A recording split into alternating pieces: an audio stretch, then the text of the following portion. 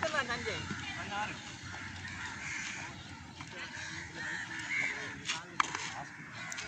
Ya, lain lain apa dengan ambil ambil.